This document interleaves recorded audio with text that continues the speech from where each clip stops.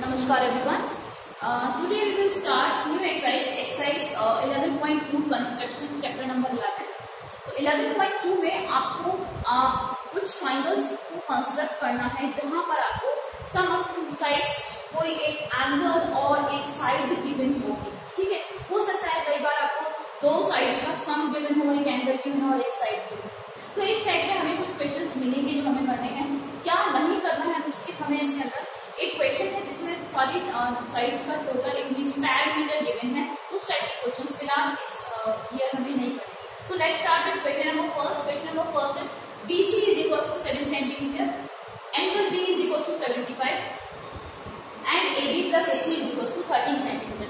Triangle construct करना है construct R triangle तो यहाँ पे जब हम ट्राइंगल कंस्ट्रक्ट करेंगे तो हमेशा याद रखें जो भी आपका बेस गिवन होगा ये इस फॉर्म में ये वाला जो होगा ये बेस गिवन ये बेस एंगल होगा सम ऑफ़ टू साइड्स का तो बेस है तो सबसे पहला स्टेप आपका होगा you have to draw a line which is seven centimetre ठीक है आपने बीसी ड्रॉ कर दिया BC is equal to seven centimetre this is base line now you have to draw base angle base angle किस form में draw करें कहाँ पर दिया हुआ है एंगल बी पर मतलब यहाँ पर इस पॉइंट पर आपको 75 डिग्री ड्रॉ करना है अब 75 डिग्री आपको किस तरह से ड्रॉ करना है with the help of compass and pencil ठीक है वहाँ पे यानी हम डी रख के यूज़ करेंगे 75 जहाँ पे जिसको प्रॉब्लम आए वो 75 डिग्री का एंगल बनाना देख सकता है। तो हम किस तरह बनाएँगे ये हम देख लेते हैं एंगल बी पर बनाएँगे 75 डिग्री का एंगल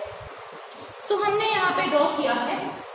कंपास लिया कंपास और पेंसिल आपने लिया इस बी पॉइंट पे रखा and cut the arc same measurement का आर फॉर्म पॉइंट दिस यहाँ पे कोई पॉइंट है ये वाला पॉइंट यहाँ से आप कट करना है दिस इज़ 60 डिग्री फिर यहाँ से कट करेंगे दिस इज़ 120 डिग्री 60 और 120 का बाइसेक्टर एंगल जो होगा, बीच वाला एंगल मिलेगा वो 90 डिग्री एंगल मिल जाएगा बट हमें बनाना है 75 डिग्री 75 डिग्री क्या होगा 60 से बड़ा होगा 90 से कम होगा 75 डिग्री कैसे बनेगा इस पॉइंट पर ये पॉइंट इसको नाम दे रही हूँ पी इसको नाम दे दिया मैंने क्यू पी पॉइंट और क्यू पॉइंट पर हम अगेन ही जो सिमिलर ये वाला जो आपका मेज़रमेंट है यही मेज़रमेंट से हम इस तरह से कट करेंगे एक from point P and from point Q तो ये जो एंगल होगा ये इंटरसेक्शन पॉइंट होगा इसको जब आप ज्वाइन करेंगे इस फॉर्म में ये एंगल आपका 75 डिग्री एंगल होगा यहाँ से लेके यहाँ तक का जो एंगल है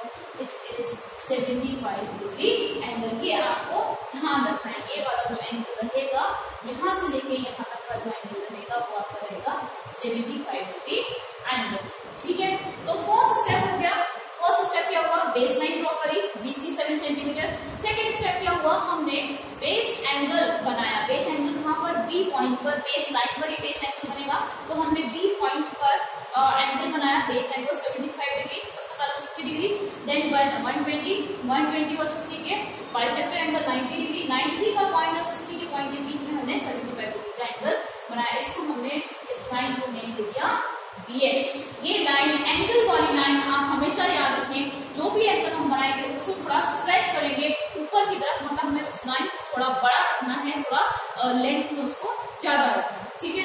नाउ थर्ड स्टेप अब थर्ड स्टेप क्या दिया हुआ है? AB plus AC is equal to thirteen centimetre first step BC खेचा सेकंड स्टेप में एंगल बना लिया seventy five degree third step है आपके पास AB plus AC is equal to thirteen centimetre अब आपको क्या करना है? कंपास में ओपन करना है स्केल पे रखना है थर्टीन सेंटीमीटर मेजर करना है। थर्टीन सेंटीमीटर मेजर करते ही फ्रॉम पॉइंट बी यहाँ से लेके यहाँ पर एक कट लग जाएगा आपका। उसको हमने नाम दे दिया सपोज़ आपने नाम दे दिया डी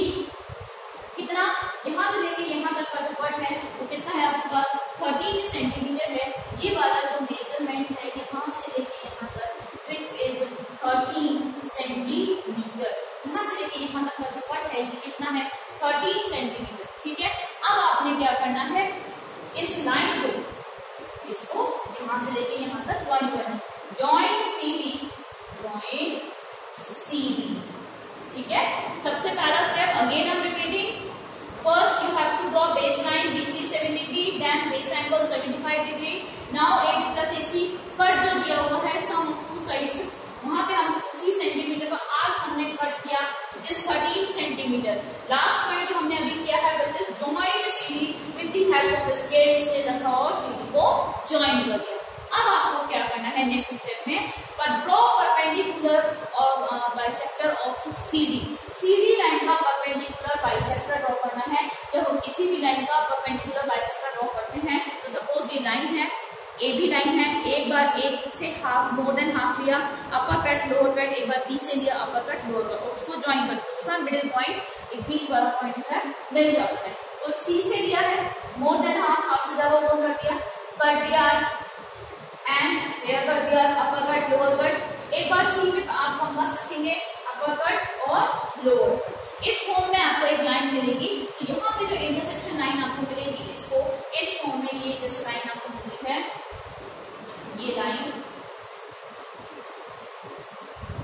ये स्ट्रेट लाइन मुझे बिल्कुल ध्यान रखिएगा ये मैं रफ डायग्राम बना रही हूँ तो ये आपका कट जो मिलेगा इस तरह से ये वाला मिलेगा तो ये इंटरसेक्शन पॉइंट ये और ये आपको ज्वाइन हुए एक लाइन ड्रॉ करनी है अब आपके पास ट्राइंगल क्या बना ये वाली लाइन पर, इस लाइन पर, ये जो लाइन इंटरसेक्ट हो रही है, जो इंटरसेक्शन लाइन है this is called A point ये है आपका A point. Now join AC. So this is required triangle ABC. ये है आपका required triangle ABC जिसको मैंने शेडेड कर दिया है ये हो गया आपके पास रिक्वायर्ड ट्राइंगल ABC. तो इस तरह से हमें फ़र्स्ट क्वेश्चन का कंस्ट्रक्शन किया है। आप आई होप आपको समझ में आ गया होगा। Now question number second question number second क्या गिवन है BC is equal to 8 centimeter angle, B 45 degree B minus A C अब देखो डिफरेंस ऑफ़ टू साइड दिया हुआ है, दोनों का डिफरेंस दिया हुआ है। A C three point five centimetre अब आपको क्या करना पड़ेगा? अगेन फ़र्स्ट वही स्टेप यूज़ करना है। सबसे पहले आपको बेस ड्रॉ करना है देन बेस बेस एंगल बनाना है देन जितने भी सेंटीमीटर का आर्क दिया हुआ उतने सेंटीमीटर का आर्क बेस एंगल वाली लाइन पर कट करना है। So BC eight centimetre base line draw करी सिंपल आपने स्केल से बेस लाइन ड्रॉ करी। देन नेक्स्ट स्टेप होगा एंगल बी पर 45 डिग्री बनाना। 45 डिग्री कैसे बनेगा? ये हो गया यहाँ से, ये कट किया। ये 60 से कंपास के थ्रू ये हो गया 120 120 और इसके बीच का यहाँ पे इस तरह कट और ऐसे। तो ये तो हो गया आपके पास 90 डिग्री हमें 90 डिग्री नहीं चाहिए हमें क्या चाहिए? 45 डिग्री चाहिए। तो 45 is the half of the 90 ये वाला पॉइंट और इस वाले पॉइंट से हम क्या करेंगे? इसको बाइसेक्टर ड्रॉ करेंगे। 45 डिग्री मिल जाएगा वही सेम मेज़रमेंट यहाँ से लिया हमने। ये कट हो गया, यहाँ से ये कट हो गया। ये जो एंगल हो गया एंगल वाली लाइन को आपको स्ट्रेच करना है। ये बी एक्स हो गया। तो ये एंगल कितने डिग्री का हो गया? एंगल आपके पास आ गया है 45 डिग्री ये हो गया 45 डिग्री ये जो एंगल है which is 45 degree I hope ये दो स्टेप समझ में आ गए होंगे। फ़र्स्ट स्टेप में 8 सेंटीमीटर ड्रॉ करना है। पहले एक सेंटीमीटर ड्रॉ किया आपने स्केल से देन बेस एंगल 45 डिग्री बना दिया अब आर कितना दिया हुआ है? डिफरेंस कितना दिया हुआ है? Difference of two side difference मतलब इन दोनों का माइनस करके दिया हुआ है दोनों साइड को डिफरेंस उनका अंतर दिया हुआ है। A B minus A C three point five centimetre again वही काम करना है। बेस एंगल वाली लाइन पर 3.5 सेंटीमीटर आप स्केल से मेजर करेंगे। देन फ्रॉम पॉइंट पी कर दिया। यहाँ कहीं आपको मिल जाएगा। ये वाला पॉइंट जिसको हम डी कह देते हैं, ये पॉइंट हो गया डी नाउ ये हो गया आपके पास कितने सेंटीमीटर की लाइन यहाँ से लेके यहाँ तक विच इज़ 3.5 सेंटीमीटर ये जो लेंथ है यहाँ से इस बी डी की थ्री पॉइंट फाइव सेंटीमीटर अब आपको क्या करना है? Join C D join C D with the help of scale now next step is next step क्या होगा? आपको ड्रॉ करना होगा perpendicular bisector of CD CD को आप सीडी का आपको परपेंडिकुलर बाइसेक्टर ड्रॉ करना होगा। तो जो बाइसेक्टर कहाँ मिलेगा वो आपको देखना है।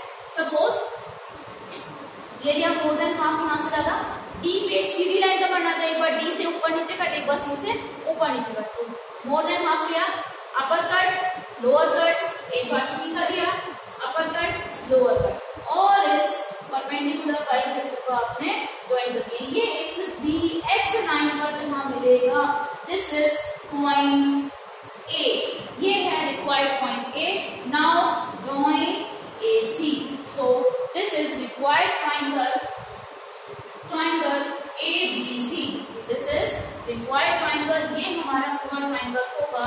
Required triangle A B C जो हमें कहा गया था बनाने के लिए। आई होप ये आपको समझ में आ गया होगा।